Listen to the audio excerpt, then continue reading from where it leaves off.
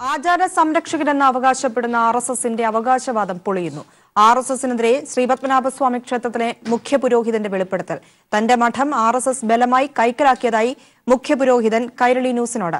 മുഖ്യപുരോഹിതനായ മുഞ്ചിറ മഠം പുഷ്പാഞ്ജലി സ്വാമിയരുടെ മഠമാണ് ആർ എസ് എസ് കൈവശപ്പെടുത്തിയത്. തന്റെ ഉപാസന മൂർത്തിയായ ശ്രീരാമ വിഗ്രഹം എവിടെയെന്ന് ആർ എസ് എസിനോട് സ്വാമിയാർ. പരസ്വത്ത് അപഹരണമാണ് ആർ എസ് എസ് നടത്തുന്നതെന്നും സ്വാമിയാർ. മഠത്തിന്റെ ഉപാസനാമൂർത്തിയായ ശ്രീരാമചന്ദ്രന്റെ പഞ്ചലോഹ വിഗ്രഹം. അതിപ്പോൾ അവിടെ ഉണ്ടോ ഇല്ല എവിടെയെന്നറിയില്ല അവിടെ ഇല്ല ഇന്നിപ്പോൾ ആ പഞ്ചലോഹ വിഗ്രഹം ഈ എല്ലാ മഠത്തിലുണ്ട്.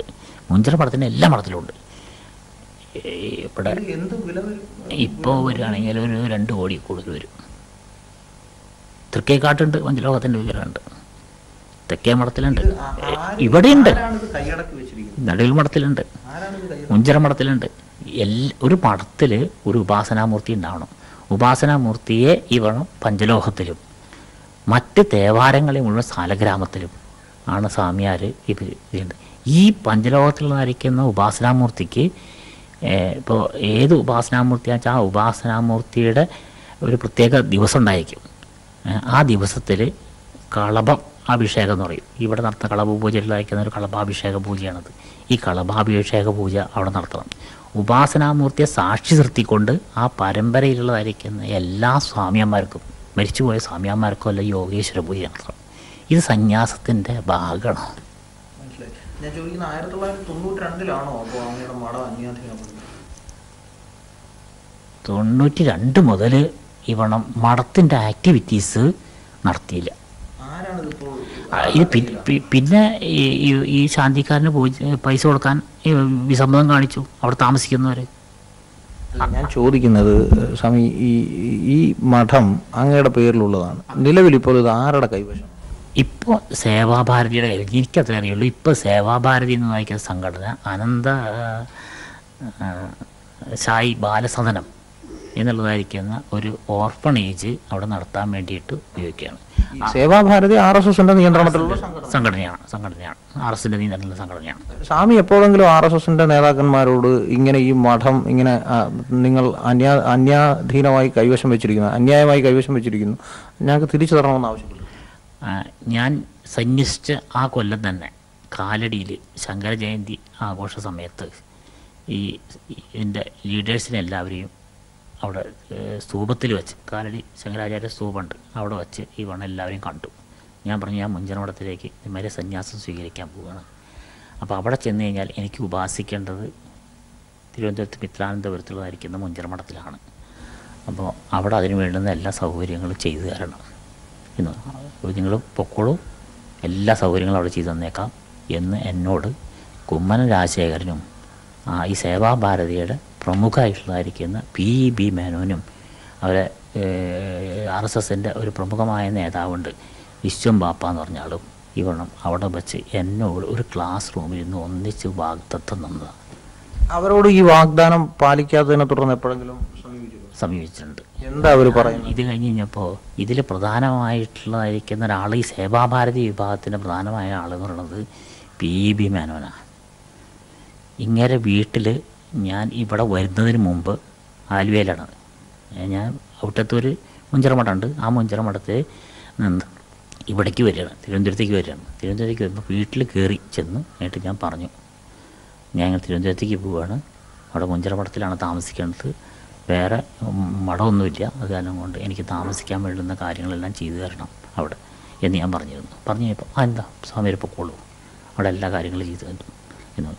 ഞാൻ അതേപോലെ തന്നെ ഇവിടെ വന്നിറങ്ങി വന്നിറങ്ങിയിട്ട് ഈ മഠത്തിൽ ചെന്നു. അവിടെ ചെന്ന് കഴിഞ്ഞപ്പോൾ രണ്ട് ദിവസം കഴിഞ്ഞ് കഴിഞ്ഞപ്പോൾ പറഞ്ഞു ഇവിടെ ഇങ്ങനെ സ്വാമിയാർക്ക് താമസിക്കാനുള്ള സൗകര്യമൊന്നുമില്ല. എന്ന് പറഞ്ഞു. ആരാണ് പറഞ്ഞത്? അവിടുത്തെ കാര്യങ്ങൾ നോക്കുന്നവർ. അവിടുത്തെ എല്ലാവരും കൂടി. അപ്പോൾ അത് പി ബി മേനോന്റെ ശ്രദ്ധയിൽപ്പെടുത്തി. ശ്രദ്ധയിൽപ്പെടുത്തി. അപ്പോൾ അത് അവരിങ്ങനെ പറയണപ്പോൾ എന്താ ചെയ്യുക എന്ന് ചോദിച്ചു. എന്താ ചെയ്യാന്ന്? അതായത് അവർ കൈയൊഴിഞ്ഞ മട്ടിലാണ്. കൈ ഒഴിഞ്ഞ മട്ടില്ല ഈ കുമ്മൻ രാജശേഖരനോട് ഇതിനെ സംബന്ധിച്ച് പരാതി പറഞ്ഞു നിരവധി എഴുത്തുകൾ നടത്തിയിട്ടുണ്ടായിരുന്നു. നേരിട്ട് കണ്ട് പറയാൻ പറ്റിയില്ല. പല ആളുകളെയും പറഞ്ഞയച്ചു. പക്ഷെ യാതൊരു റെസ്പോൺസും ഉണ്ടായിട്ടില്ല. സ്വാമി പറഞ്ഞത് പ്രകാരമാണെങ്കിൽ അവിടെ ഒരു പഞ്ചലോഹ ശ്രീരാമചന്ദ്രന്റെ ഒരു പഞ്ചലോഹ വിഗ്രഹമുണ്ട്. അത് പതിറ്റാണ്ടുകളായി അങ്ങയുടെ മുൻ തലമുറക്കാർ ഉപാസിക്കുന്ന ഉപാസനാമൂർത്തിയാണ്. ആ പഞ്ചലോക വിഗ്രഹം അവിടെ ഉള്ളതായി അങ്ങേക്ക് എന്തെങ്കിലും ഉറപ്പുണ്ട്? ഇല്ലില്ല എനിക്ക് ഉറപ്പില്ല. പഞ്ചലോക വിഗ്രഹങ്ങളുമായിട്ട് എനിക്ക് ആരും ഉറപ്പില്ല ഇപ്പം. പണ്ടുണ്ടായിരുന്നു.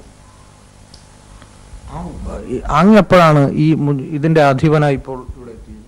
ഞാൻ ആയിര ഏ, രണ്ടായിരത്തി പതിനാറ് ഡിസംബർ മാസത്തിലാണ് ഞാൻ മുഞ്ചിറ മഠത്തിന്റെ മഠാധിപതിയായിട്ട് അവരോധിക്കണം അതായത് പി ബി മേനോനും കുമ്മനം രാജശേഖരനോടും മറ്റ് ആർ എസ് എസിന്റെ നേതാക്കന്മാരോടും ഈ മഠം തനിക്ക് വിട്ടു തരണമെന്ന് പറയുന്നത് രണ്ടായിരത്തി പതിനാറിലാണ് രണ്ടായിരത്തി പതിനാറ് ഡിസംബർ മാസത്തിൽ ആണ് ഞാൻ സാധിച്ചത്. അതിനുശേഷം പിന്നെ ഇവരെല്ലാവരും കൂടി ശങ്കര ജയന്തിയുടെ അന്ന് കാലടിയിൽ സ്തൂപത്തിൽ വെച്ച് കാണുകയും സംസാരിക്കുകയൊക്കെ ചെയ്തു. അതിന് മുമ്പേ സംസാരിച്ചു. മുമ്പേ സംസാരിച്ചു ഇവരോട്. ഞാൻ സന്യസിക്കുന്നതിന് മുമ്പ് തന്നെ. സന്യസിക്കുന്നതിന് മുമ്പ് തന്നെ പറഞ്ഞു. സാധാരണഗതിയിൽ അങ്ങ് പറയുമ്പോൾ നമുക്കുണ്ടാവുന്നൊരു ഒരു ഉൾക്കൊള്ളാനുണ്ടാവുന്ന ഒരു പ്രധാന ബുദ്ധിമുട്ട്. സാധാരണ ഈ ആർ എസ് എസ് അല്ലെങ്കിൽ അവർ വലിയ ഹൈന്ദവമായ ആചാരാനുഷ്ഠാന ക്രമങ്ങളിലെല്ലാം വലിയ വിശ്വാസവും ഒക്കെ പറയുന്ന ആളുകളാണ്. ഈ സ്വാമിമാർ ഋഷീശ്വരന്മാർ പുരോഹിതന്മാർ അവരോടൊക്കെ വലിയ ബഹുമാനത്തിൽ കാണുമ്പോൾ നമസ്കരിക്കുക അങ്ങനെയുള്ള തരത്തിലൊക്കെ പെരുമാറുന്ന ആളുകളാണ്. അവരിങ്ങനെ പെരുമാറും എന്ന് പെട്ടെന്ന് പൊതുസമൂഹത്തിന് വിശ്വസിക്കാൻ ബുദ്ധിമുട്ട് വരുന്നു. ഉം. അതുകൊണ്ടാണ് സ്വാമികളെടുത്ത് ചോദിക്കുന്നത്. ഇങ്ങനെ ഇവർ ഇ- ഇ- ഇങ്ങനെ പറഞ്ഞിട്ടും സ്വാമിയോട് വീണ്ടും ഇങ്ങനെ തന്നെ കാണിച്ചുകൊണ്ടിരിക്കുകയാണ്. സ്വാമി അവിടെ ആ മടത്തിച്ചിരിക്കും അല്ല ഇപ്പൊ സന്യാസത്തിന് ശേഷം എനിക്ക് തോന്നിയത് ഇപ്പോൾ നിങ്ങൾ പറയുന്ന അഭിപ്രായമല്ല. ദ്വിമുഖ ഭാവം അവർക്കുണ്ട്. എന്നുവെച്ചാൽ മെറ്റീരിയൽ ആയിട്ടുള്ളതായിരിക്കുന്ന ഗെയിൻ അനുസരിച്ച് മാത്രമാണ് അവർ ചിന്തിക്കുന്നത്. വോട്ട് പണം അതിനുള്ളതായിരിക്കുന്ന ആക്ടിവിറ്റീസ് അതിനുള്ളതായിരിക്കുന്ന സെന്റർ ആയിട്ട് ഈ പണം പരസ്വത്ത് അപകരണത്തിന് അവർ താല്പര്യപ്പെടുന്നുണ്ട്. സത്യവും ധർമ്മമൊന്നും ഉണ്ടെന്ന് എനിക്ക് തോന്നുന്നില്ല. അവരുടെ പ്രവർത്തനങ്ങൾ നിഷ്കാമമാണ് എന്നൊന്നും അവർ പറയുന്നതിൽ എനിക്ക് അനുഭവമില്ല. സന്യാസിന് ശേഷം. എന്നുവെച്ചാൽ മഠത്തിന്റെ നിരവധി കേന്ദ്രങ്ങൾ ഈ പറഞ്ഞ ഉള്ളതായിരിക്കുന്ന അവരുടെ സമീപനങ്ങളും പ്രവർത്തനങ്ങളും രീതികളും ആ പ്രദേശത്ത് അയക്കുന്ന ആളുകളുടെ നിന്ന് ഉള്ള പ്രതികരണങ്ങളും പരാതികളും ഒക്കെ കേട്ടുകൊണ്ട് എനിക്കിപ്പോൾ അനുഭവത്തിൽ തോന്നുന്നില്ല. അഞ്ച് കാര്യങ്ങൾ നിർബന്ധമാണ് ഒരു മഠം. കുളം ഈ പറഞ്ഞ തിടപ്പള്ളി പോലെ പാചകശാല പൂജാമുറി ഉപാസനാമൂർത്തി സ്വാമിയാർ ഇങ്ങനെ അഞ്ച് കാര്യങ്ങൾ ഉള്ള ശരിക്കും ഷടങ്കം എന്ന് പറയും. പിന്നെ ഒരു ഒരു ഒരു മുറിയുണ്ട് അവിടെ. ഈ പൂജാമുറി പോലെ തന്നെ തുല്യ പ്രാധാന്യമായിട്ട് എല്ലാ ശങ്കരമഠങ്ങളിലും പോയി കഴിഞ്ഞാൽ കാണാം. ആ മുറിക്ക് പറയുന്ന പേര് സമാധി മുറി എന്നാണ്.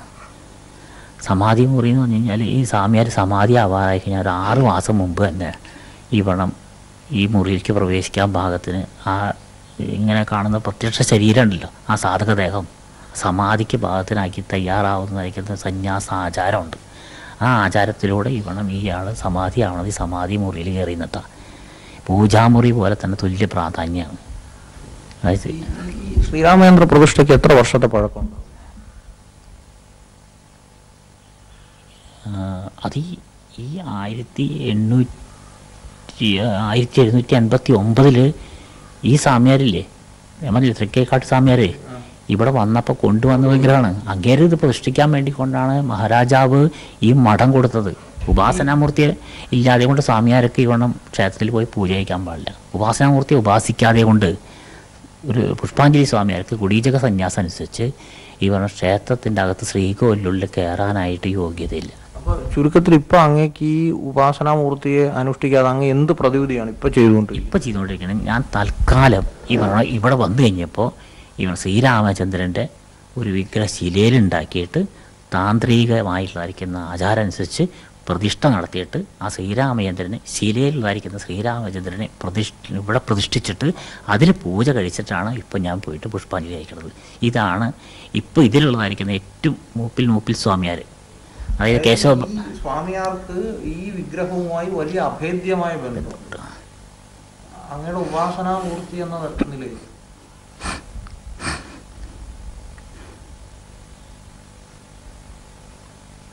അതാണ് വലിയ പ്രാധാന്യം. ഈ സന്യാസ ആചാരത്തിൽ ഈ ഉപാസനാമൂർത്തി ഇല്ലെങ്കിൽ പിന്നെ സന്യാസമില്ല. നമുക്ക് ഒരു ആത്മബലം കിട്ടണമെങ്കിൽ ഈ ഒരു ലാഡറാണത്. അതിൽ കൂടെ മാത്രമേ ഈ വണ്ണം സന്യാസമുള്ളൂ അല്ലെങ്കിൽ വെറും വേഷം കെട്ടാവും. മഠത്തിൽ അങ്ങ് ചെല്ലുമ്പോൾ അങ്ങനെ അകത്ത് പ്രവേശിക്കാൻ സമ്മതിക്കും. സമ്മതിക്കില്ല സമ്മതിക്കില്ല. അതെന്താണ് അവർ അങ്ങനെ ഒരു ഞാൻ പറഞ്ഞില്ലേ ഇതാണ് ഏത് സ്വാർത്ഥമായ മെറ്റീരിയൽ ആയിട്ടുള്ളതായിരിക്കുന്ന ഗെയിന് വേണ്ടിക്കൊണ്ട് കൊണ്ട് അങ്ങേക്ക് ഈ സംസ്ഥാന എസ് ലീഡർഷിപ്പിനോട് ഇത് പറഞ്ഞിട്ട് കിട്ടുന്നില്ല എങ്കിൽ അഖിലേന്ത്യാ തലത്തിലുള്ള മോഹൻ ഭാഗവതിനോടോ മറ്റാരോടെങ്കിലും ഭാഗവത്തിന് കത്തയച്ചു. അല്ല നരേന്ദ്രമോദിക്ക് കത്തയച്ചു ഇവിടെ ഇവ ഇവിടെ മുഞ്ചിറ മഠത്തിൽ ഈ കയറ്റുന്നില്ല. അല്ല അത് ഈ ക്ഷേത്ര എക്സിക്യൂട്ടീവ് ഓഫീസറോട് പറഞ്ഞിട്ട് ഇതിപ്പോ ഇതിപ്പോൾ ക്ഷേത്രം എക്സിക്യൂട്ടീവ് ഓഫീസറാണ് ശരിക്കും പറഞ്ഞാൽ ഈ കെട്ടിടത്തിന്റെ അധികാരി. എന്നുവെച്ചാൽ ക്ഷേത്രം എക്സിക്യൂട്ടീവ് ഓഫീസറുടെ പേരിലാണ് ഈ വണം ഇതിന്റെ കരമടയ്ക്കണത് വരെ. ഇപ്പം അവിടെ ഇട്ടേക്കണ നമ്പർ തന്നെ ഫാൾസ് നമ്പറാണ് ജനങ്ങളെ തെറ്റിദ്ധരിപ്പിക്കാൻ വേണ്ടിയുള്ള ടി സി നമ്പർ ഇട്ടണത് യഥാർത്ഥ നമ്പർ പോലും അതല്ല. ഇവർ രജിസ്ട്രേഷൻ വാങ്ങിച്ചിരിക്കുന്നത് ആ ഫാൾസ് നമ്പറല്ല ശിശുക്ഷേമത്തിന്റെ സമയം രജിസ്ട്രേഷൻ മേടിച്ചത് മേടിച്ചത് ഫാൾസ് നമ്പറല്ല അത് ചുരുക്കത്തിൽ ഇപ്പോൾ അങ്ങ് ഈ താമസിക്കുന്ന ഈ മുറി ഇതിപ്പോൾ രാജാവ് രാജകുടുംബം അങ്ങേക്ക് സൗജന്യമായി താൽക്കാലികമായി താമസിക്കാൻ തന്നിരിക്കുന്ന ഒരു ഗസ്റ്റ് ഹൗസ് ആണ് ഇത് എപ്പോൾ വേണേൽ അങ്ങ് ഇവിടുന്ന് ഇറക്കി വിടാം. ഇറക്കി വിടാം. വേണമെങ്കിൽ ഇറക്കി വിടാം ഇവർ ഏതെങ്കിലും തരത്തിലുള്ള കൃത്രിമ രേഖയോ മറ്റെന്തെങ്കിലും ചമച്ച അവിടെ കയറി അവർക്ക് പറ്റില്ല. ചമച്ചിട്ടൂല ചമയ്ക്കാൻ പറ്റൂല അവർക്ക്. ഈ ഒരു കയ്യൂക്കിന്റെ ബലത്തിൽ കയ്യൂക്കിന്റെ ഒറ്റ മസിൽ പവറിന്റെ ഒറ്റ ബലം മാത്രമേ ഉള്ളൂ. ഇത് പരസ്വത്താപകരണം അതിലുള്ളതായിരിക്കുന്ന മെറ്റീരിയൽ എൻജോയ്മെന്റിന് വേണ്ടിയിട്ടുള്ളതായിരിക്കുന്ന ഒരു ഗ്രൂപ്പ് വർക്കാണ് സേവാഭാരതി സേവനത്തിന്റെ പേരിൽ ഒരു സേവന വ്യാപാരം. അതാണ് ഇപ്പോൾ അവിടെ നടക്കുന്നത്. അപ്പോൾ ആ മനസ്ഥിതിയിലനുസരിച്ച് അത് ഈ പറഞ്ഞ അധർമ്മമാണ് സമൂഹത്തെ ചൂഷണം ചെയ്യുന്നു. അത് തന്നെ ഒരു സ്വാമിയാർ മഠത്തെ ശങ്കരപരമ്പരയിലേക്കുന്ന സ്വാമിയാർ മഠത്തെ ചൂഷണം ചെയ്യുന്നു. പക്ഷേ ഒരു ചൂഷണമാണ് അവിടെ നടക്കുന്നത്. ഈ വില്ലോങ്കലത്ത് സ്വാമിയാരുടെ വംശപരമ്പരയിൽപ്പെട്ട അങ്ങേക്ക് പോലും ഇതിൽ രക്ഷയില്ലെങ്കിൽ പിന്നെ ഇനി ആർക്കാണ് രക്ഷ? ഇവിടെ ധർമ്മം രക്ഷിക്കുന്ന ധർമ്മം രക്ഷിക്കേണ്ടവരെന്ന് പറഞ്ഞു നടക്കുന്ന ആളുകൾ ഇവിടെ ധർമ്മം രക്ഷിക്കുന്നൊന്നുമില്ല. അതൊക്കെ വെറും വാക്ക് മാത്രമേ ഉള്ളൂ. അതൊക്കെ ആളുകളെ പറ്റിക്കാൻ വേണ്ടിയിട്ടുള്ളതായിരിക്കുന്ന പറയുന്ന വാക്കുകളേ ഉള്ളൂ അതൊക്കെ വളരെ ഞെട്ടിക്കുന്ന ചില വാക്കുകളാണ് ഇപ്പോൾ പുഷ്പാഞ്ജലി സ്വാമിയാർ നമ്മളോട് പറഞ്ഞിരിക്കുന്നത്. പ്രത്യേകിച്ച് ഹിന്ദുവിന്റെ ധർമ്മം രാജ്യവ്യാപകമായി ഊട്ടി ഉറപ്പിക്കും എന്ന് പറയുന്ന സംഘപരിവാർ സംഘടനകൾ ഈ പുഷ്പാഞ്ജലി സ്വാമിയാരെ പോലെ സമൂഹത്തിൽ വളരെ ഔന്നിത്യമുള്ളൊരു വ്യക്തിയുടെ സ്വത്ത് തട്ടിയെടുത്തിരിക്കുന്നു എന്ന വെളിപ്പെടുത്തലാണ് അദ്ദേഹം നടത്തിയിരിക്കുന്നത്. എന്തായാലും വരും ദിവസങ്ങളിൽ ഇത് സംബന്ധിച്ചുള്ള വലിയ പ്രതികരണങ്ങൾ ഉണ്ടാവേണ്ടതുണ്ട്. കാരണം ഇദ്ദേഹത്തിന് പോലും ഈ സ്വന്തം മഠം സംഘപരിവാർ സംഘടനകളിൽ നിന്നും സംരക്ഷിക്കാൻ കഴിയുന്നില്ല എന്ന വെളിപ്പെടുത്തൽ ഏറെ ഗൗരവതരമാണ്. ഇത് തീർച്ചയായും ഇവിടുത്തെ സർക്കാരും പോലീസും അതോടൊപ്പം അധികാരികളുമെല്ലാം അടിയന്തരമായി ഇടപെടേണ്ട ഒരു വിഷയം തന്നെയാണ്. ക്യാമറമാൻ ബിച്ചു പൂവച്ചലിനോടൊപ്പം എസ് ജീവൻകുമാർ തിരുവനന്തപുരം. ഈ വാർത്തയുടെ കൂടുതൽ വിശദാംശങ്ങളുമായി ജീവൻ തന്നെ നമുക്കൊപ്പം ചേരുകയാണ്. ജീവൻ ജീവൻ പറഞ്ഞതുപോലെ ഞെട്ടിക്കുന്ന അല്ലെങ്കിൽ അവിശ്വസനീയമായ ഒരു കാര്യമാണ് ശ്രീപത്മനാഭസ്വാമി ശ്രീ പത്മനാഭസ്വാമി ക്ഷേത്രത്തിലെ മുഖ്യ പുരോഹിതനായ അദ്ദേഹത്തിന്റെ വായിൽ നിന്ന് വായിൽ നിന്ന് നമ്മൾ കേട്ടത്. ഒരിക്കലും അത് ഉൾക്കൊള്ളാൻ കഴിയത്തില്ല എന്ന് തന്നെ വേണമെങ്കിൽ പറയാം. അതിനു മുൻപ് തന്നെ ഞാൻ ചോദിക്കുകയാണ് ഈ പുരോഹിതന്റെ പ്രത്യേകത എന്താണ്? കാരണം ഒരു സാധാരണ പുരോഹിതനല്ല ഇദ്ദേഹം. മുഞ്ചിറ മഠം പുഷ്പാഞ്ജലി സ്വാമികളുടെ പ്രത്യേകത എന്താണ്? അദ്ദേഹത്തിന് ശ്രീപത്മനാഭ സ്വാമി ക്ഷേത്രവുമായുള്ള ബന്ധം എന്താണ്? പ്രിയ പ്രിയ ചോദിച്ചത് ആയിരത്തി എഴുന്നൂറ്റി എൺപത്തി ഒൻപതിലാണ് അന്നത്തെ തിരുവിതാംകൂർ മഹാരാജാവായിരുന്ന കാർത്തിക തിരുനാൾ കാർത്തിക തിരുനാൾ മഹാരാജാവ് ധർമ്മരാജ എന്ന് വിളിപ്പേരുള്ള കാർത്തിക തിരുനാൾ ആദ്യമായി ഇരിങ്ങാലക്കുടയിലുള്ള നാല് ശങ്കരാചാര്യർ സ്ഥാപിച്ചു എന്ന് ശങ്കരാചാര്യ ശിഷ്യന്മാരുടെ മഠങ്ങളിൽ ഒന്നായ മുഞ്ചിറ മഠത്തിലെ ഒരു സ്വാമിമാരെ തിരുവനന്തപുരത്തേക്ക് കൊണ്ടുവരുന്നത്. ഒരുപക്ഷെ ഈ സന്യാസിനി ക്ഷേത്രത്തിലെ പൂജാവിധികളുടെ അന്തിമ വാക്കാവുന്ന അത്യപൂർവം ക്ഷേത്രങ്ങളിൽ ഒരുപക്ഷെ കേരളത്തിന് പുറത്ത് അത്തരം ക്ഷേത്രങ്ങൾ ധാരാളമുണ്ട്. പക്ഷേ സന്യാസി ഈ ക്ഷേത്രത്തിന്റെ വിധിയും ചിട്ടയും തീരുമാനിക്കുന്ന വിധത്തിലുള്ള തീരുമാനങ്ങൾ വിധിയുള്ള അത്യപൂർവം ക്ഷേത്രങ്ങളിൽ ഒന്നാണ് തിരുവനന്തപുരം ശ്രീപത്മനാഭ സ്വാമി ക്ഷേത്രം. അത്യപൂ അത്യപൂർവങ്ങളിൽ അത്യപൂർവമായ മറ്റ് ചില ചടങ്ങുകൾ കൂടി നടക്കുന്ന സ്ഥലമാണ്. ഈ പ്രിയ ചോദിച്ച ചോദ്യത്തിലേക്ക് ഞാൻ വരാം.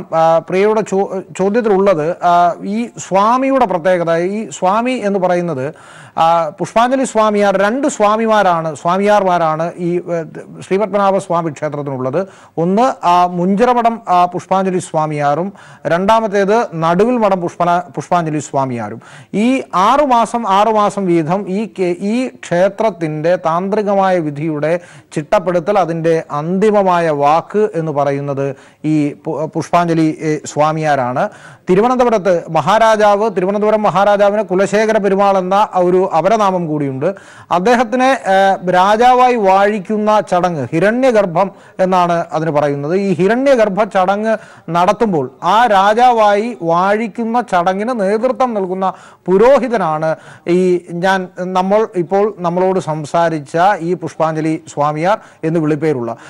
അത്യപൂർവം അത്യപൂർവം ക്ഷേത്രങ്ങളിൽ മാത്രമാണ് സ്വാമിയാർ പുഷ്പാഞ്ജലി മുന്നൂറ്റി അറുപത്തിയഞ്ച് ദിവസവും നടക്കാറുള്ളത്. തിരുവനന്തപുരം ശ്രീപത്മനാഭ സ്വാമി ക്ഷേത്രത്തിലാണ് മുന്നൂറ്റി അറുപത്തി അഞ്ച് ദിവസവും പുഷ്പാഞ്ജലി സ്വാമിയാരുടെ പുഷ്പാഞ്ജലി. അതായത് ക്ഷേത്രത്തിന്റെ താന്ത്രിക അവകാശങ്ങളിലെ അവസാന വാക്കായ മുഖ്യ പുരോഹിതന്റെ താന്ത്രിക വിധിയുള്ള പുഷ്പാഞ്ജലി നടക്കുന്നത് അത്യപൂർവം ക്ഷേത്രങ്ങളിലാണ്.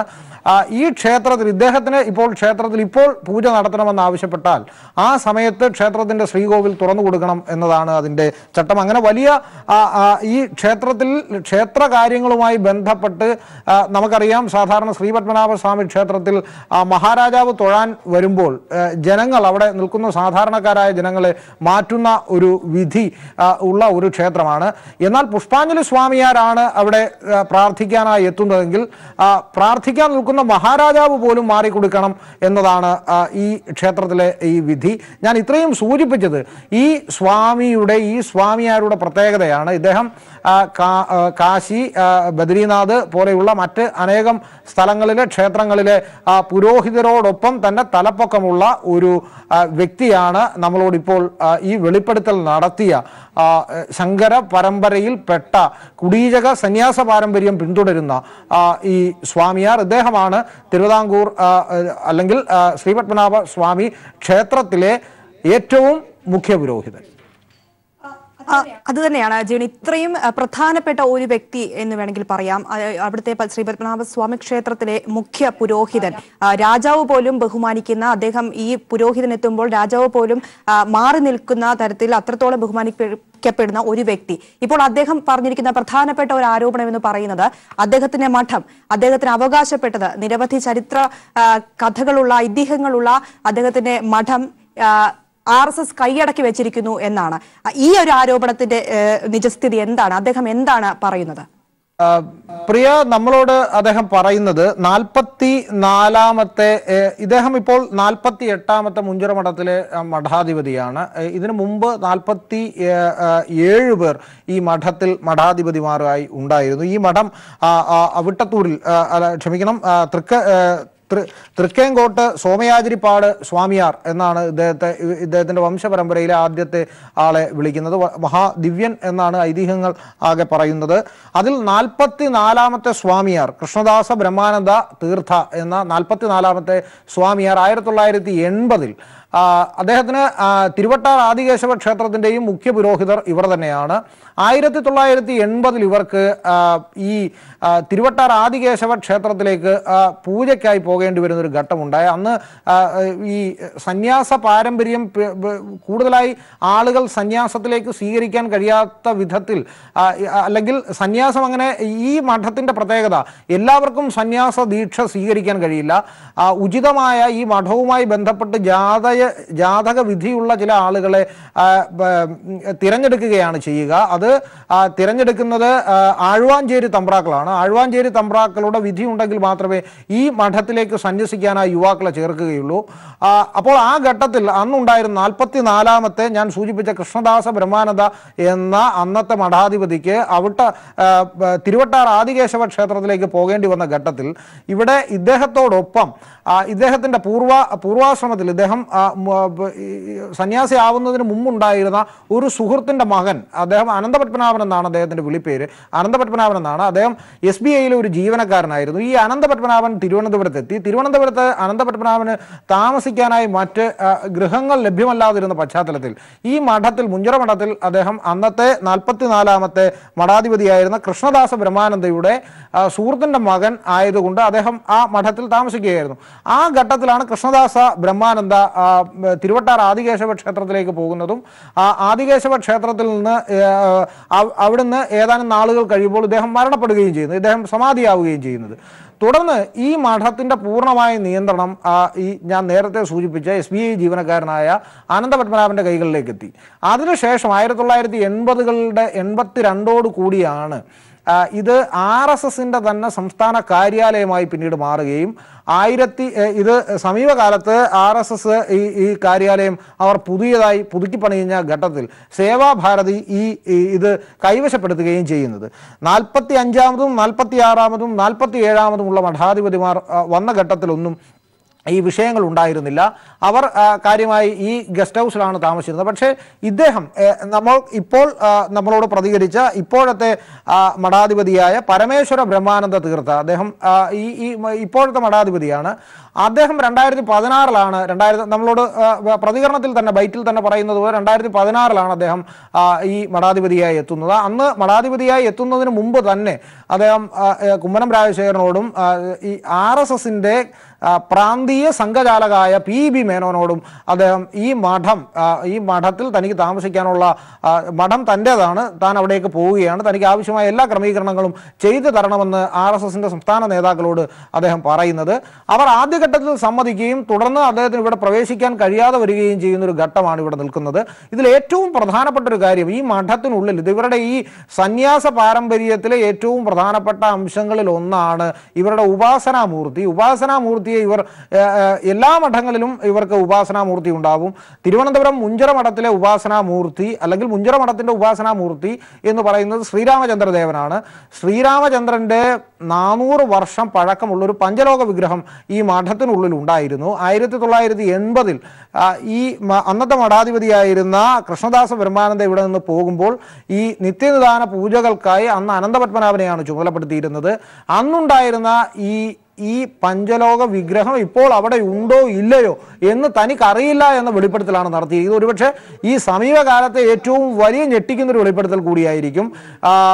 ജയ് ശ്രീറാം വിളിക്കാത്തതിന്റെ പേരിൽ ആളുകളെ ആക്രമിക്കുന്നവർ അല്ലെങ്കിൽ അയോധ്യയിൽ ശ്രീരാമന് ക്ഷേത്രം പണിയുന്നതിന് വേണ്ടി രാജ്യമാകെ കലാപം നടത്തുന്നവർ അവർ പതിറ്റാണ്ടുകളായി സൂക്ഷിച്ചിരുന്ന ഒരു സ്ഥലത്ത് അല്ലെങ്കിൽ അവർ കൈകാര്യം ചെയ്തിരുന്ന സ്ഥലത്തുണ്ടായിരുന്ന ശ്രീരാമചന്ദ്ര ദേവന്റെ വിഗ്രഹം എവിടെ എന്ന് അറിയില്ല എന്ന് വെളിപ്പെടുത്തൽ നടത്തിയിരിക്കുന്നത് ഈ സമൂഹത്തിൽ അല്ലെങ്കിൽ ഹൈന്ദവ സമൂഹത്തിലെ വളരെ ഔന്നിത്യമുള്ള പുഷ്പാഞ്ജലി സ്വാമിയാരാണ് എന്നത് വളരെ ഗൗരവതരമാണ്. അത് തീർച്ചയായും ഒരു പക്ഷേ ചർച്ച ചെയ്യപ്പെടേണ്ട ഒരു വിഷയം തന്നെയാണ് എന്നതാണ് നമുക്ക് പറയാനുള്ളത്.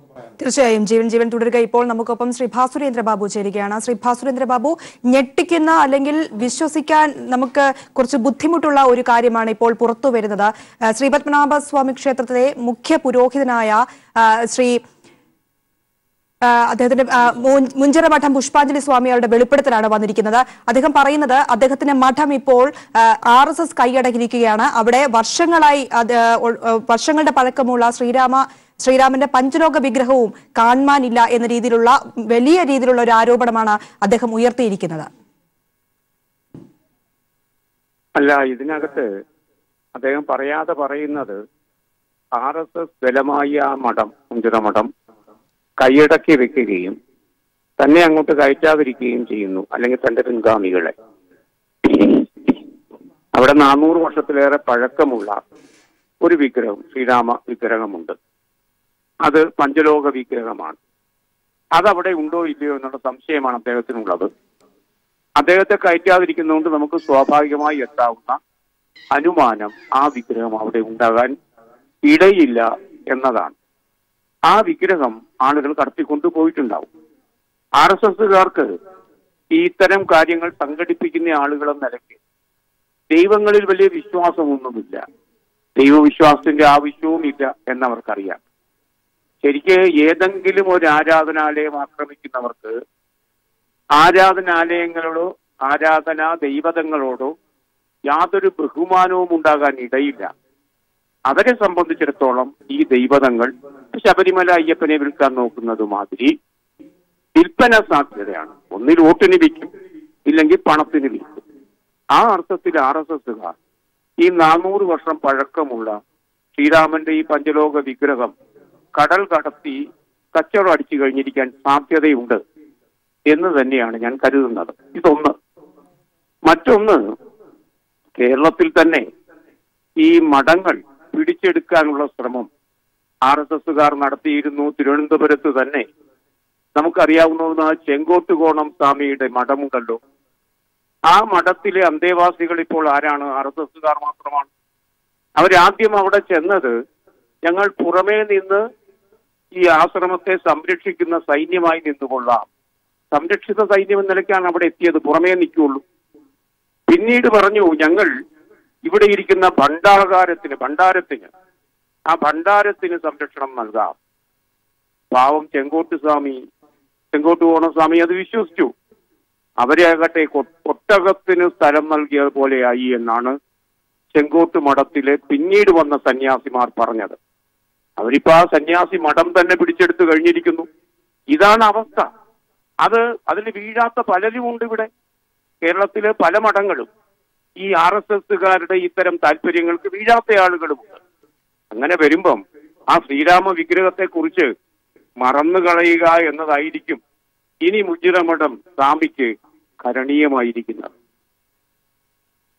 അതുതന്നെ ശ്രീ ഭാസുരേന്ദ്ര ബാബു അദ്ദേഹം അത് പറയുകയുണ്ടായി ഈ ഒരു സംഭവം ഉണ്ടായ ശേഷം അദ്ദേഹം നിരവധി തവണ ബി ജെ പിയുടെ പ്രധാനപ്പെട്ട നേതാക്കളെയൊക്കെ സമീപിച്ചിരുന്നു. കുമ്മനം രാജശേഖരൻ ഒപ്പം തന്നെ പി. ബി. മേനോൻ തുടങ്ങിയ നേതാക്കളെയൊക്കെ അദ്ദേഹം സമീപിച്ചിരുന്നു. തന്റെ കാര്യം പറയുകയും ഉടനടി നടപടി സ്വീകരിക്കാമെന്ന വാഗ്ദാനം നൽകി അവർ പറഞ്ഞു വിടുകയും ചെയ്തു എന്നും ഈ പുരോഹിതൻ ഈ സ്വാമിയാർ നമ്മളോട് പറയുന്നുണ്ട്. എന്നിട്ടും ഒരു നടപടി അവർ സ്വീകരിച്ചില്ല എന്ന് മാത്രമല്ല ഇപ്പോൾ അദ്ദേഹത്തിന്റെ അവസ്ഥ എന്ന് പറയുന്നത് വളരെ ദയനീയമാണ്. വികാരാധീനനായി അദ്ദേഹം സംസാരിക്കുന്നത് നമുക്ക് കാണാൻ കഴിഞ്ഞു. ഇപ്പോൾ ഞങ്ങൾക്ക് നൽകിയ ഈ ഒരു അഭിമുഖത്തിലൂടെ. ഒപ്പം തന്നെ ഈ എന്താ നമ്മുടെ ആചാരങ്ങളെല്ലാം സംരക്ഷിക്കണമെന്ന് മുറവിളി കൂട്ടുന്ന ഒരു കൂട്ടം ആളുകളാണ് ഇതിനുവേണ്ടി പ്രവർത്തിച്ചിരിക്കുന്നത് എന്ന് അറിയുമ്പോൾ നമുക്ക് ഉൾക്കൊള്ളാൻ സമൂഹത്തിന് ഉൾക്കൊള്ളാൻ കഴിയുമോ? നമുക്കറിയാം കഴിഞ്ഞ ദിവസങ്ങളാണ് ജയശ്രീറാം വിളിക്കണമെന്ന് പറഞ്ഞ് സമൂഹത്തിലെ സാംസ്കാരിക രംഗത്തെ പ്രമുഖരെ വരെ ഭീഷണിപ്പെടുത്തുന്ന ചിലരുടെ മുഖം നമ്മൾ കണ്ടത്. അവരാണ് ഇപ്പോൾ ഒരു മുഖ്യ പുരോഹിതന് നേരെ ഇത്തരത്തിൽ പ്രവർത്തിച്ചിരിക്കുന്നത്. നോക്കൂ ഈ പുരോഹിതൻ കുമ്മനൻ രാജശേഖരനെയും ശ്രീ മേനോനെയൊക്കെ കണ്ടു കാണും. കണ്ടിട്ട് ആവശ്യപ്പെട്ട് കാണും. പക്ഷേ അവർക്കറിയാമല്ലോ കുമ്മനൻ രാജശേഖരൻ എത്രയോ വർഷം ഈ ആർ എസ് എസുകാരെ അറിയാം. അദ്ദേഹം ബി ജെ പിക്കാരനൊന്നും ആയിരുന്നില്ല. അതിന്റെ സംസ്ഥാന പ്രസിഡന്റ് ആകുമ്പോൾ പോലും. ഇപ്പോഴാണോ ഇല്ലയോ എന്ന് ദൈവത്തിന് മാത്രമേ അറിയുള്ളൂ എന്ന് പറഞ്ഞാൽ ആർക്കും അറിയില്ല എന്നർത്ഥം.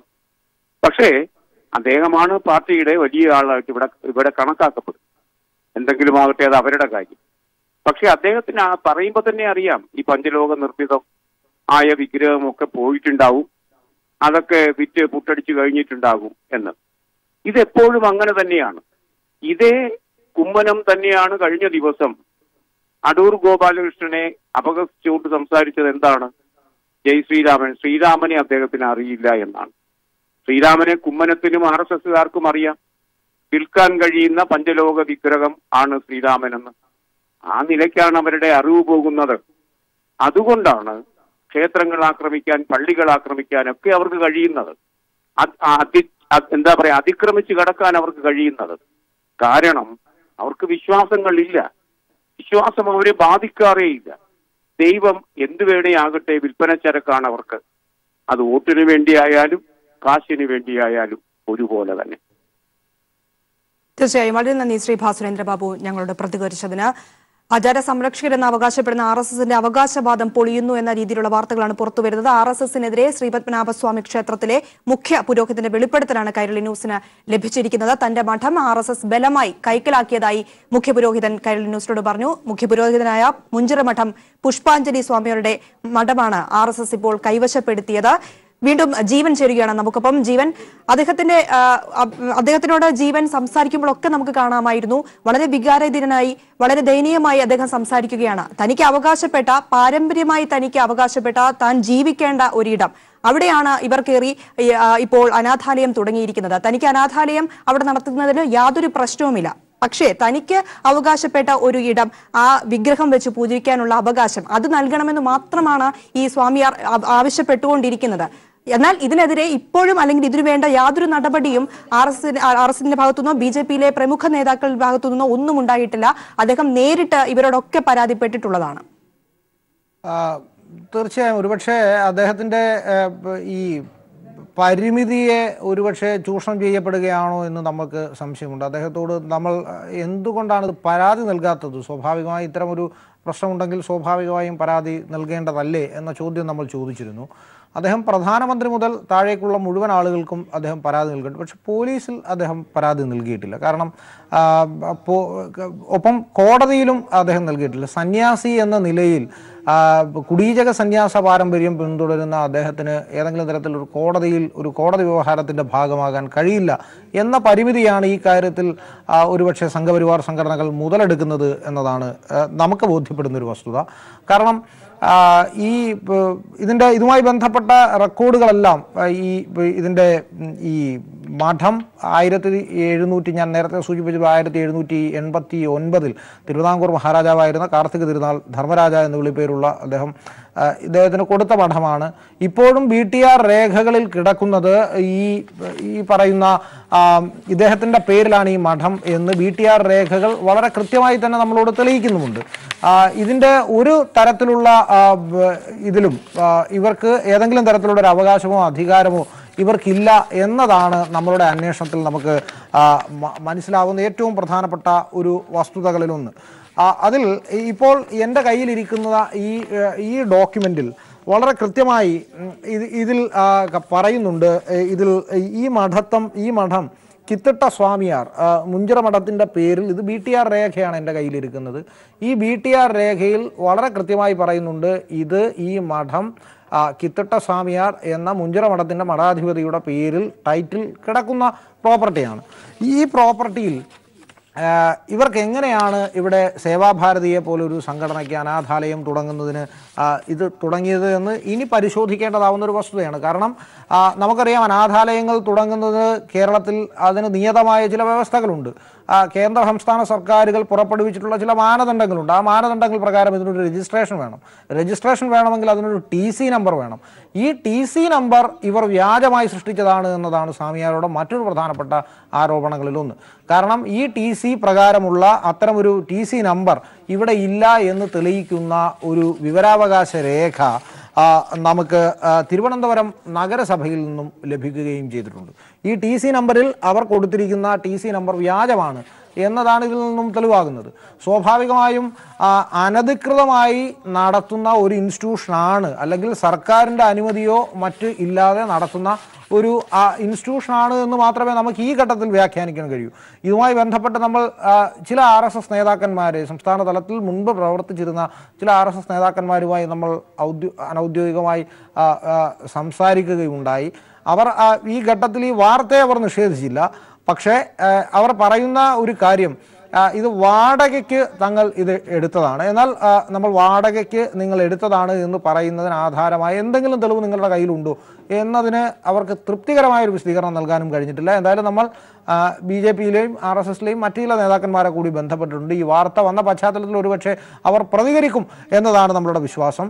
പക്ഷേ എന്തായാലും ഈ സ്വാമിയാരുടെ വെളിപ്പെടുത്തൽ വളരെ ഞെട്ടിക്കുന്നതാണ്. ഈ ഈ പ്രതികരണം നമ്മൾ എടുക്കുമ്പോൾ പോലും അദ്ദേഹം പറയുന്ന പല കാര്യങ്ങളും ആർ എസ് എസ് നിലവിൽ ഉയർത്തുന്ന വാദങ്ങളുമായി പൊരുത്തപ്പെട്ടു പോകുന്നതല്ല. കാരണം സ്വാമിയാർ മഠം ശങ്കരാചാര്യരുടെ വംശപരമ്പരയിൽ പെടുന്ന ശങ്കരമഠത്തിന്റെ പാരമ്പര്യമുള്ള ഒരു മഠത്തെ ഇല്ലീഗൽ ഒക്യുപ്പൻസി നടത്തി അത് കൈവശപ്പെടുത്തിയിരിക്കുന്നു എന്നതാണ് ഇതിൽ ഏറ്റവും പ്രധാനപ്പെട്ട ഒന്ന്. രണ്ട് ഈ മഠത്തിനുള്ളിൽ ഒരു വിഗ്രഹം ഉണ്ടായിരുന്നു. അത് തന്റെ ഉപാസനാമൂർത്തിയായ ശ്രീരാമചന്ദ്രദേവന്റെ ഉപ വിഗ്രഹമാണ്. അത് പഞ്ചലോക വിഗ്രഹമാണ്. അതിന് നാനൂറ് വർഷത്തിലേറെ പഴക്കമുണ്ട്. ആയിരത്തി തൊള്ളായിരത്തി എൺപത് വരെ ഇത്തരത്തിൽ ഈ വിഗ്രഹം അവിടെ ഉണ്ടായിരുന്നു. ഇപ്പോൾ ഈ വിഗ്രഹം അവിടെ ഉണ്ടോ എന്ന കാര്യത്തിൽ തനിക്ക് തീർച്ചയില്ല. തന്നെ അകത്തേക്ക് പ്രവേശിപ്പിക്കുന്നില്ല. ഈ ആറ് കാര്യങ്ങൾ അദ്ദേഹം അക്കമിട്ട് നിരത്തുന്നു. രണ്ട് ഒരു വർഷത്തിൽ കുടീചക സന്യാസ പാരമ്പര്യം പിന്തുടരുന്ന സന്യാസി എന്ന നിലയിൽ തനിക്ക് ചാതുർമാസ വ്രതം എന്നത് അനുഷ്ഠിക്കേണ്ടതാണ്. അത് ആ മഠത്തിനുള്ളിലാണ് താൻ അനുഷ്ഠിക്കേണ്ടത്. താൻ സമാധിയാവുമ്പോൾ അവിടെ ഉണ്ടാവേണ്ട സമാധി മുറിയിലാണ് തന്നെ ഇരുത്തേണ്ടത്. ആ ആറു മാസത്തേക്ക് അവിടെയാണ് ഇതുമായി ബന്ധപ്പെട്ട കാര്യങ്ങൾ ചെയ്യേണ്ടത് എന്നതടക്കമുള്ള കാര്യങ്ങൾ അദ്ദേഹം പറയുമ്പോൾ മാനുഷികമായി അദ്ദേഹം പറയുന്ന മറ്റൊരു വശം ഇവിടെ പ്രവർത്തിക്കുന്ന ഈ ഈ അനാഥാലയം വർഷങ്ങളായി പ്രവർത്തിക്കുന്നതാണ്. ഈ അനാഥാലയത്തിലെ കുട്ടികളെ തെരുവിലേക്ക് ഇറക്കി വിടണം എന്നൊരാഗ്രഹം തനിക്കില്ല. അവിടെ അനാഥാലയം പ്രവർത്തിച്ചു കൊള്ളട്ടെ. പക്ഷേ തനിക്ക് തന്റെ സ്വസ്ഥമായി സന്യാസം ചെയ്യാനുള്ള അല്ലെങ്കിൽ സന്യസിക്കാനുള്ള ഒരു ഇത് ഇവർ ഉണ്ടാക്കി തരണം എന്നതാണ് പറയുന്നത്. അദ്ദേഹം ഇപ്പോൾ താമസിക്കുന്ന തിരുവിതാംകൂർ മഹാരാജാവ് അല്ലെങ്കിൽ തിരുവിതാംകൂർ ഫാമിലി തിരുവിതാംകൂറിലെ ഈ രാജവംശത്തിൽപ്പെട്ട അവർ കൊടുത്തിരിക്കുന്ന ഒരു ഗസ്റ്റ് ഹൗസിലാണ് അദ്ദേഹം ഇപ്പോൾ താമസിക്കുന്നത്. അത് ഒരു കേവലം രണ്ട് മുറിയും ഒരു പൂജാമുറിയും ഒരു ഒരു ഒരു അടുക്കളയും മാത്രമുള്ള അല്ലെങ്കിൽ തിടപ്പള്ളി എന്ന് വിളിപ്പേരുള്ള അടുക്കളയും മാത്രമുള്ള ഒരു ഉള്ള ഒരു മുറി മാത്രമാണ് അവിടെയാണ് ഇദ്ദേഹം താമസിക്കുന്നത്. ഇദ്ദേഹം അവിടെ താമസിക്കുന്നത് കൊണ്ട് മാത്രം ആ പഴയ കെട്ടിടം അവർക്ക് റിനോവേറ്റ് ചെയ്യാൻ കഴിയുന്നില്ല. ഇവർ ഏതെങ്കിലും ഘട്ടത്തിൽ അവിടെ നിന്ന് മാറുകയാണെങ്കിൽ ഉടനടി അത് റിനോവേറ്റ് ചെയ്യേണ്ടതാണ്. മഹാരാജ ഇത് താൻ റോയൽ താൻ രാജകുടുംബത്തിലുള്ളവരോടും ഈ കാര്യം താൻ പറഞ്ഞിരുന്നതാണ്. പക്ഷെ അവർ നിസ്സഹായരാണ് എന്ന കൈമലർത്തുകയാണ് അവർ ചെയ്യുന്നത്. എന്തായാലും ഈ കാര്യം സ്വാഭാവികമായും തിരുവിതാംകൂർ ശ്രീപത്മനാഭ സ്വാമി ക്ഷേത്രത്തിന്റെ മുഖ്യ പുരോഹിതനോട് ഇങ്ങനെയാണ് ആർ എസ് എസിന്റെ സമീപനമെങ്കിൽ ഏത് തരത്തിലുള്ള ആചാര സംരക്ഷണമാണ് അവർ പറയുന്നത്? അല്ലെങ്കിൽ ഏത് തരത്തിലുള്ള ആചാര സംരക്ഷണ മുദ്രാവാക്യമാണ് അവർ ഉയർത്തുന്നത് എന്ന് കേരളീയ സമൂഹം അവരുടെ ഇരട്ടത്താപ്പ് തിരിച്ചറിയേണ്ടതായി വരുന്നു എന്ന് ഭാസുരേന്ദ്ര ബാബു നമ്മളുടെ ചർച്ചയിൽ പറഞ്ഞത്. അല്ലെങ്കിൽ ശ്രീരാമ വിഗ്രഹം അല്ലെങ്കിൽ ശ്രീരാമചന്ദ്രന്റെ വിഗ്രഹവും ആ പേരുമെല്ലാം അവർക്ക് ഈ സ്വാമിയാർ പറയുന്നത് പോലെ തന്നെ പണത്തിനും വോട്ടിനും വേണ്ടി ഉപയോഗിക്കാനുള്ള കേവലമായ ആയുധമാക്കി മാറ്റുന്നു എന്നതാണ് ഇതിന്റെ ഏറ്റവും വലിയ രത്നച്ചുരുക്കവും. തീർച്ചയായും അത് തന്നെയാണ്. മറ്റൊരു പ്രധാനപ്പെട്ട കാര്യം ജീവൻ സൂചിപ്പിച്ച ഈ അദ്ദേഹം ആരോപിക്കുന്ന പ്രധാനപ്പെട്ട ആരോപണങ്ങളിൽ ഒന്നാണ് വിഗ്രഹത്തിന്റെ കാര്യം. അതായത് പഞ്ചലോക വിഗ്രഹമാണ് ശ്രീരാമ വിഗ്രഹമാണ് തലമുറകളായി അദ്ദേഹം അദ്ദേഹത്തിന്റെ തലമുറകൾ പൂജിച്ചു വന്നിരുന്ന ഒരു വിഗ്രഹമാണ്. ആ വിഗ്രഹം അവിടെ ഉണ്ടോ എന്ന് പോലും ഇപ്പോൾ അറിയില്ല എന്നൊരു പ്രധാനപ്പെട്ട കാര്യം അദ്ദേഹം പറയുന്നുണ്ട്. അത് ഒരുപക്ഷെ അദ്ദേഹം പറഞ്ഞു അതിന്റെ വില എന്ന് പറയുന്നത് രണ്ടു കോടിയോളം അടുത്തു വരും. അദ്ദേഹം പറഞ്ഞതാണ് നമുക്കതിന്റെ വ്യക്തത അറിയില്ല. ആ ഒരു വിഗ്രഹത്തിന്റെ കാര്യത്തിൽ സംശയവും അദ്ദേഹം പ്രകടിപ്പിക്കുന്നുണ്ട്. അത് ആ മഠത്തിനുള്ളിൽ ഉണ്ടോ എന്ന കാര്യം തനിക്ക് ഉറപ്പില്ല. അത് അതിലൊരു ദുരൂഹത ഉണ്ട് എന്ന രീതിയിലുള്ള ഒരു പ്രതികരണം പോലും അദ്ദേഹം പങ്കുവച്ചിരിക്കുകയാണ്. തീർച്ചയായും. കാരണം ഇത് ഈ ഘട്ടത്തിൽ നമുക്ക് വളരെ പെട്ടെന്ന് പരിഹരിക്കാൻ കഴിയുന്നതിനപ്പുറത്തേക്കുള്ള ഒരു സങ്കീർണതയിലേക്ക് കാര്യങ്ങൾ എത്തിച്ചിരിക്കുകയാണ്. കാരണം ഈ ഘട്ടത്തിൽ നിൽക്കുന്ന ആർ എസ് എസിന്റെയോ പ്രമുഖ നേതാക്കളോട് ആരോട് ചോദിച്ചാലും അവർക്ക് അവർ കഴിഞ്ഞ കുറേ വർഷങ്ങളായി ഇത് കൈവശം വെച്ചിരിക്കുകയാണ്. ഇത് എപ്പോഴാണ് ഇത് തങ്ങളുടെ കൈവശം വന്ന് ചേർന്നത് എന്ന് പോലും ഈ ഘട്ടത്തിലെ ആർ എസ് എസ് നേതാക്കന്മാർക്ക് ഒരുപക്ഷെ കൃത്യമായ ഒരു വിശദീകരണം തരാൻ ബുദ്ധിമുട്ടായിരിക്കും. പക്ഷേ ഇദ്ദേഹത്തെ അവിടെ തടയുന്നുണ്ട് എന്നത് വസ്തുതയാണ്. പല ഘട്ടങ്ങളിലായി അദ്ദേഹത്തിന് അവിടെ പുറത്തിരുന്നാണ് ഈ പൂജകൾ ചെയ്യേണ്ടി വരുന്നത് എന്നത് വസ്തുതയാണ്. പ്രിയ സൂചിപ്പിച്ചതുപോലെ ഈ ഇവരുടെ ഉപാസനാമൂർത്തി ഈ സ്വാമിയാരുടെ ഏറ്റവും പ്രധാനപ്പെട്ട ഉപാസനാമൂർത്തിയായ ശ്രീരാമ വിഗ്രഹം. ആ വിഗ്രഹം അവിടെ വെച്ച് പൂജിക്കുക എന്നത് ഇവരുടെ സന്യാസ പരമ്പരയിൽപ്പെട്ട ഒരു പ്രധാനപ്പെട്ട ഇതുകൂടിയാണ്. അതിൽ ഒരു ഈ വിഗ്രഹവുമായി ബന്ധപ്പെട്ട മറ്റൊരു ഐതിഹ്യം പറഞ്ഞു കേൾക്കുന്നത്. ഇത് ആയിരത്തി എണ്ണൂറ്റി എഴുപത്തി ഒൻപതിൽ ഈ ശ്രീരാമചന്ദ്ര വിഗ്രഹവും കയ്യിലേന്തിക്കൊണ്ട് ഇവിടേക്ക് വരുന്ന ഘട്ടത്തിലാണ് ടിപ്പുവിന്റെ പടയോട്ടം ഉണ്ടാകുന്നത് അന്ന് ഈ ടിപ്പുവിന്റെ പടയോട്ടം ഉണ്ടാകുമ്പോൾ ഈ വിഗ്രഹം ഇവിടെ കൊണ്ടുവന്ന് ആലുവ പുഴയുടെ തീരത്ത് വെച്ച് ഈ- അവിടെ വെച്ച് വരുണമന്ത്രം ജപിച്ചു എന്നാണ് പറയുന്നത്. ആ വരുണമന്ത്രം ജപിച്ച് അപ്പോൾ ഉണ്ടായ പേമാരിയിലും ഉരുൾപൊട്ടലിലും പ്രളയത്തിന്റെ കുത്തൊഴുക്കിലും ക്ഷുഭിതയായി ഈ ആലുവ പുര കര കവിഞ്ഞൊഴുകിയതിനെ തുടർന്ന് ടിപ്പുവിന് ഇപ്പുറത്തേക്ക് വരാൻ കഴിഞ്ഞില്ല എന്നൊരു ഐതിഹ്യവുമുണ്ട്. ഒരുപക്ഷെ അത് ഐതിഹ്യപരമായ വ്യാഖ്യാനങ്ങൾ മാത്രമായിരിക്കാം. അതിന് കേവലമായ യുക്തിയുമായി ബന്ധപ്പെട്ട് നമ്മൾ കണക്ട് ചെയ്യപ്പെടേണ്ടതില്ല. പക്ഷേ അങ്ങനെ വിശ്വസിക്കുന്ന ആളുകളുമുണ്ട് ഈ ഈ ഈ വിഷയവുമായി ബന്ധപ്പെട്ട് അത്രയധികം അതിന് ആ വിഗ്രഹത്തിന് ഈ പഞ്ചലോക വിഗ്രഹത്തിന് അത്രയധികം വലിയ തപോബലമുള്ള അല്ലെങ്കിൽ വലിയ ബലമുള്ള ഒരു വിഗ്രഹമാണ് എന്ന് കരുതപ്പെടുന്നവരുണ്ട്. അദ്ദേഹത്തിന്റെ വാക്കുകളിൽ തന്നെ അത് വ്യക്തമാണ്. ഒരു സന്യാസിയെ സംബന്ധിച്ചിടത്തോളം തന്റെ ഉപാസനാമൂർത്തിയെ ഉപാസനാമൂർത്തിക്ക് നിത്യവും പൂജ ചെയ്യുക എന്നതാണ് ഒരു സന്യാസിയെ സംബന്ധിച്ചിടത്തോളം അയാളുടെ ഏറ്റവും പ്രധാനപ്പെട്ട ധർമ്മങ്ങളിലൊന്ന്. ഇല്ലെങ്കിൽ സന്യാസമില്ല അത് കേവലം കാട്ടിക്കൂട്ടൽ മാത്രമാവും എന്നാണ് അദ്ദേഹം നമ്മളോട് വെളിപ്പെടുത്തിയത്. അതിനാവശ്യമായ ക്രമീകരണങ്ങൾ നിങ്ങൾ ചെയ്തു തരണമെന്ന് മാത്രമാണ് അദ്ദേഹത്തിന് ആർ എസ് എസ് നേതൃത്വത്തോട് പറയാനുള്ളത്. ഒരുപക്ഷെ ഈ വാർത്ത കണ്ടെങ്കിലും അവർക്ക് ഏതെങ്കിലും തരത്തിലുള്ള ഒരു മനമാറ്റം ഉണ്ടാകും എന്ന് നമുക്ക് പ്രതീക്ഷിക്കുകയും ചെയ്യാം പ്രിയ. ജീവൻ ജീവൻ പറഞ്ഞ ഒരു കാര്യത്തിൽ അദ്ദേഹം പറഞ്ഞിരുന്നു. R S S R S S നടത്തുന്നത് പരസ്വത്ത് അപഹരണം മാത്രമാണ് എന്ന്. അതിന്റെ കൂടെ അദ്ദേഹം പറഞ്ഞൊരു മറ്റൊരു പ്രധാനപ്പെട്ട കാര്യം ജീവനുമായി സംസാരിച്ചപ്പോൾ നമുക്ക് കേൾക്കാൻ കഴിഞ്ഞത് മഠത്തിന്റെ പല കേന്ദ്രങ്ങളിലും ഇത്തരത്തിലുള്ള കാര്യങ്ങൾ വ്യാപകമായി നടക്കുന്നുണ്ട് എന്നാണ്. അതിന്റെ അത്തരത്തിൽ ഉള്ള കാര്യങ്ങളും അദ്ദേഹം പറഞ്ഞിരിക്കുകയാണ്. കാരണം ഇത് പ്രിയ നമ്മളുടെ അന്വേഷണത്തിൽ നമുക്ക് ബോധ്യപ്പെടുന്ന ആയിരത്തി തൊള്ളായിരത്തി എൺപത് മുതൽ ഇത് ആർ എസ് എസിന്റെ ഒരു സംസ്ഥാന കാര്യാലയമായി പ്രവർത്തിച്ചിരുന്ന സ്ഥലമാണ് മുഞ്ചിറമഠം എന്നാൽ ആർ എസ് എസിന്റെ കാര്യാലയം പിന്നീട് അവർ സ്വന്തമായി നിർമ്മിക്കുന്ന ഘട്ടത്തിൽ ഇത് അവർ ഇപ്പോഴും ഹോൾഡ് ചെയ്യുന്നു എന്നതാണ് വസ്തുത. ഇത് മാറി സേവാഭാരതിയുടെ ഒരു ഒരു ഒരു യൂണിറ്റ് അവിടെ ഒരു അനാഥാലയം അവിടെ പ്രവർത്തിക്കുന്നു. സ്വാഭാവികമായും അനാഥാലയത്തിൽ പ്രവർത്തിക്കുന്ന പ്രവർത്തിക്കുമ്പോൾ സ്വാഭാവികമായും ഒട്ടനവധി കുട്ടികൾ അവിടെ ഉണ്ട്. കഴിഞ്ഞ കുറേ വർഷങ്ങളായി ഇതവിടെ പ്രവർത്തിക്കുകയാണ്. വളരെ പെട്ടെന്ന് നമുക്കൊരു ഏതെങ്കിലും തരത്തിലുള്ളൊരു ഒരു ആക്ഷനിലൂടെ ഇത് അവിടെ നിന്ന് ഒഴിപ്പിക്കാൻ കഴിയില്ല. കാരണം അവിടെ അവിടെ ടെനൻസായി വന്നിരിക്കുന്നവർ അനാഥരാണ്. സ്വാഭാവികമായ ഒരു വൈകാരിക പ്രശ്നമായി മാറും. അതുകൊണ്ട് തന്നെ ഒരു വിശ്വാസ പ്രശ്നം പോലെ തന്നെ വിശ്വാസ പ്രശ്നമാണ് മറ്റുള്ള സ്ഥലങ്ങളിൽ ആർ എസ് എസ് മറയാക്കി പിടിക്കുന്നതെങ്കിൽ ഇവിടെ ഒരുപറ്റം ഒരു- ഒരു പറ്റം കുട്ടികളെ മറയാക്കുന്നു എന്നതാണ് ഇതിന്റെ പ്രത്യേകത. വ്യക്തമാണ്. ജീവനന്തര ആചാര സംരക്ഷകർ എന്ന് അവകാശപ്പെടുന്ന ആർ എസ് എസിന്റെ അവകാശവാദം പൊളിയുന്നു. ആർ എസ് എസിനെതിരെ ശ്രീ പത്മനാഭസ്വാമി ക്ഷേത്രത്തിലെ മുഖ്യ പുരോഹിതനാണ് രംഗത്തെത്തിയിരിക്കുന്നത്. അദ്ദേഹത്തിന്റെ മഠം ആർ എസ് എസ് ബലമായി കൈക്കലാക്കിയിരിക്കുന്നു എന്നാണ് അദ്ദേഹം ഉന്നയിച്ചിരിക്കുന്ന ആരോപണം. ഇതിന്റെ വിശദാംശങ്ങളാണ് ജീവൻ നൽകിയത്. Thank you.